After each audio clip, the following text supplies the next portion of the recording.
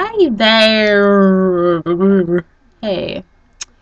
Tis Monday evening. I'm pretty happy.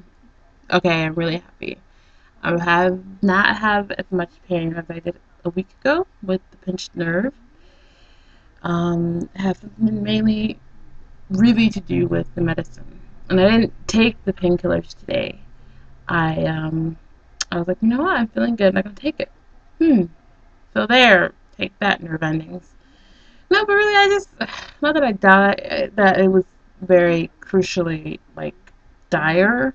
I mean the stuff going on in Haiti, um, which is already a poor country that had this major earthquake uh, about a week half ago and everyone's so compassionate coming together. So for me to like stick on to this uh, pitch and everything to make it a big deal, it was huge for me. But take care of it. It's over with. There's other things to worry about like that. Um, it's actually very very touching that there are people out there that really care. I thought I was very cynical. I think I had a little bit of cynicism in me, and there was part of me that was always been a little cynical, but there's always been a big part of me that's like, okay, people are really good, but then when something bad happens, like, wait, maybe it's not all rosy and unicorns and Rainbow Brite. But seeing how people are coming together to help people um, in a poor country, people with dark skin, um, is very touching. And I was like, okay, great to have money, but it's great people, you know, people they need people down there to actually help them too physically. Um, I can't really do neither right now. Maybe I can do something. I'll look into that. but I was talking to my sister, she was saying the same thing, and we can do something. Um, well, anyway, I definitely can't go down there financially. I can't afford it. But um, but yeah, wow, it's, it's it was pretty weird. It's kind of surreal because so many things have happened in this world since I've been alive, like 9/11, um, Hurricane Katrina, and now the hurricane. Just major catastrophe things that make people stop and say, "What the heck can we do?" to come together.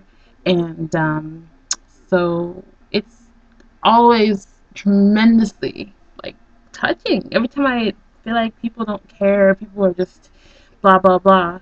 I realize everyone has their own thing, but when it comes down to it, people will be there for you. Like, yeah, or for for me or anyone. Um, and even me being sick, like someone I didn't even know said, "Hey, you know, feel better." I'm like, "Whoa." that's so freaking nice. And um, and so I hope I'm just hanging in there, learning. I was talking to my sister earlier, older sister, and I was like, yeah, I'm learning like all this stuff. And she's like, what? It's like everything. I didn't know anything when I came up living my own, and stuff I did know was kind of like not necessarily like not good, um, but it was sort of like I just learned everything from TV. Um, so I'm learning to be a better person, but also to stick to stay with it. It takes a lot of work actually. It is not easy, and I, you know, the ego gets in the way. The ego kind of says, "Well, I don't have to take this," and blah blah blah. Like, well, everyone's in the same boat, so I have to take it as much as everyone does. They just don't show it. They just don't talk about it, and so uh, at this point, I'm just excited to be doing a blog, even though my hair is looking like Frankenstein on crack, and it's just don't do drugs. Okay, so if I really could joke, but um, no, I was just blah. Like winter came along and the holiday, it was stressful, and then the pain, and then on top of everything else, I was just ready not throwing the towel, but I was like, who can I count on? I can't count on anybody. Blah blah. blah. And then not only can I count on myself, but I could count on my family. They supported me the best way they could. They gave me great advice. Um, people I um, used to work with said, "Hey, you know, take it easy yourself," and it's it's awesome. I'm just touched. And the people in Haiti, I hope they hang in there. They get not only financial help but emotional help and counseling, and just it's just horrible, traumatic. And I know a lot about trauma, so and I just ugh, I can just feel my tears. Like I can feel it, just feeling emotional, and I'm not gonna cry because it's like I have to be strong, you know, to say, hey, you know, there are people here come to America from Haiti for a dream, so we need every space in this world for every human being, and it's just sad that their space is ruined, their home.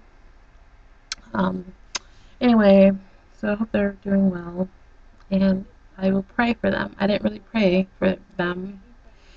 I saw the pictures, they made me cry. I saw the, you know, uh, Americans going down there lifting bodies out of cracks in the in the ground and rubble, dousing water on this little baby girl, giving her water because she's been stuck in rubble for 63 hours. And that made me cry because I never seen anything like that actually. I've never seen such tenderness to such a dark skinned girl. Never. Um, such real care. And so and that's why I like my the volunteer I'm a part of, UHC. I know they really care. Maybe they don't how to show it as much, but and it's like I really want to be that kind of person. And I don't want to be all stuck in because I have all these I had all these problems that hey, I have these problems, so therefore I'm going to be a victim. I worked really hard to like move past it and um, to see these these people in Haiti like have probably lost everything and who knows what's going to happen to them emotionally and mentally and I just pray that it's all going to work out um, for everyone because we're you know I was yeah. Well thanks for listening